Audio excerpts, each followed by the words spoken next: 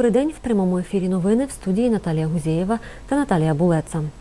Нарада керівників правоохоронних органів та обласної адміністрації щодо обрання запобіжного заходу підозрюваним у збуті наркотиків відбудеться в кінці тижня. Таке рішення прийняли сьогодні під час зустрічі голови обласної адміністрації Ігоря Бондаренка з учасниками акції, яка відбулась біля Ужгородського міськрайонного суду. О 10-й годині представники організації Карпатська Січ та ветерани АТО мітингували біля суду, потім прийшли до будівлі обласної адміністрації. Давайте так. Я не можу так, як ви кажете, раз і дві хвилини. Давайте так. Завтра, сьогодні підготовка до сесії. Давайте ми може це зробимо в п'ятницю. Я думаю, це буде краще. Завтра сесія буде, е, тому тяжкий день.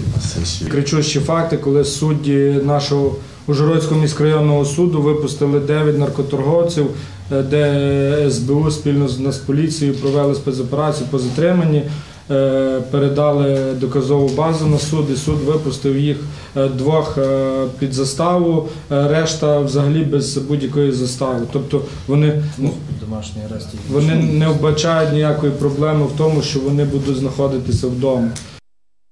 Нагадаю, сімом затриманим за збут наркотиків обрали міру запобіжного заходу тримання під вартою з можливістю внесення застави. Двох відпустили під домашній арешт. Затримали дев'ятьох чоловіків 18 вересня за збут наркотиків на території Закарпаття. 25 мільйонів гривень виділять перевізникам Ужгорода за безкоштовне перевезення громадян пільгових категорій у 2020 році. Таке рішення прийняли сьогодні на засіданні виконавчого комітету міської ради.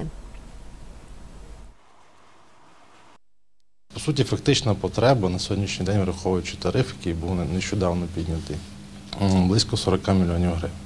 Для того, щоб е, не роздувати цифри безпосередньо в програмі, коли є невідповідність між плановими показниками і наявним фінансовим ресурсом, було прийнято рішення е, подати цифру 25 мільйонів гривень. У 2019 році при плані в 32 мільйони гривень, на сьогоднішній день профінансовано 14, тобто менше 50%. Центр надання адміністративних послуг, сільську амбулаторію, інклюзивно-ресурсний центр та нове футбольне поле зі штучним покриттям відкриють до кінця року у Вільховецькій об'єднаній територіальній громаді. Про це розповів керівник ОТГ Михайло Цірик на прес-конференції у Вільховецькій сільській раді. Деталі у сюжеті. дошку для діток, е, це сухий басейн і пісочна терапія. Також улюблене місце. Євгенія Богаченко, директор Вільховецького інклюзивно-ресурсного центру. Жінка показує приміщення, кімнату релаксу, кімнату для занять і терапії. Ми їм проводимо комплексну оцінку і створюємо умови інклюзії, тобто залучити діток з особливими потребами до звичайного життя, дати їм фахову е, допомогу спеціалістів. Наші спеціалісти це є практичні психологи, реабілітологи, логопеди, дефектологи, які в команді. е, Допомагають оцим діткам краще адаптуватися, щоб стати повноцінною такою е, ланкою нашого су- суспільства. 30 діток це вже маємо заяви, комплексні висновки. Так виглядає новий центр надання адміністративних послуг Вільховецької об'єднаної територіальної громади. Тут надаватимуть такі послуги: виготовлення закордонних паспортів, реєстрація актів цивільного стану, реєстрація місця проживання, пенсійні та нотаріальні послуги. Виготовляємо українські українські паспорти для громадян України у вигляді id картки Крім того, виготовляємо закордонні паспорти для громадян е, України, які проживають і за межами Вільховецької громади. id картки виготовляються лише для громадян, які проживають на території Вільховецької громади. Крім того, здійснюємо вклейку фото е, 25 і 45 років. У селі Вільхівчик, яке входить до ОТГ, побудували амбулаторію загальної практики сімейної медицини. Наразі у будівлі триває ремонт. було прийнято рішення, що буде амбулаторія групової практики.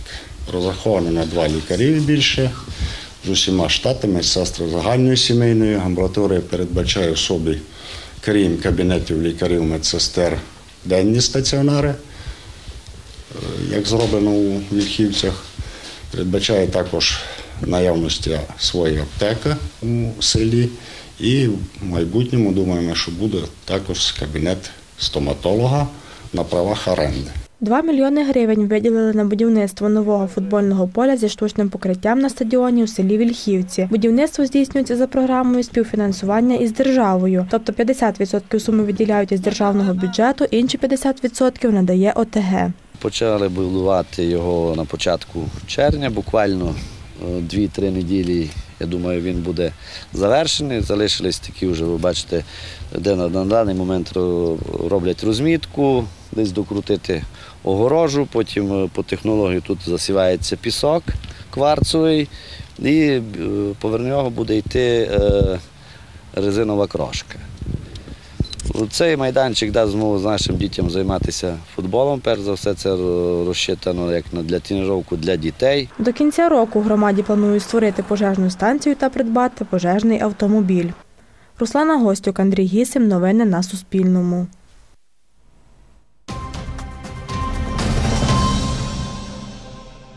Закарпатці долучились до акції Нуль відходів. Її мета заохотити людей відмовитися від пластикової та поліетиленової тари. Більше розкаже Мирослава Жабей. Юлія Опаленик поліетиленову тару замінює на паперову. Від використання пластику та поліетилену відмовлятися почала поступово більше року тому. Я вже давно сортую сміття, і дуже класна ідея відмовитися від поліетилену, тому що він дуже довго розкладається і взагалі не переробляється. і Це не є вторинною сировиною. Тому паперові пакети це набагато краще і взагалі. Отакі екопродукти вони набагато кращі, набагато корисніші і бережуть наше довкілля. Ужгородка Жаклін Мужак і сама підтримує акцію відмови від поліетилену та розповідає про неї рідним.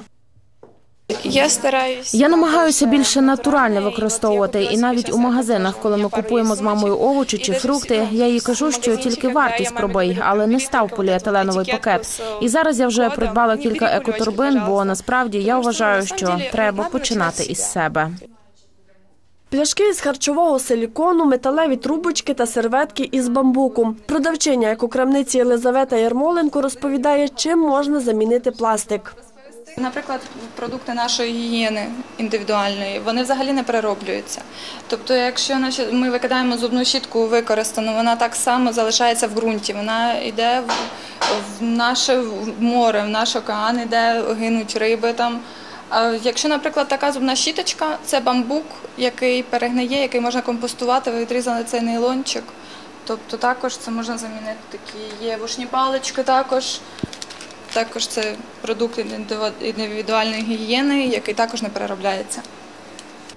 Ініціаторка підтримки акції Waste Тетяна Жовківська створила крамницю, де зовсім не використовують пластикову тару. Я вже давно сортую в себе вдома сміття, тобто намагалася е, якимось чином більш екологічно свідомо жити.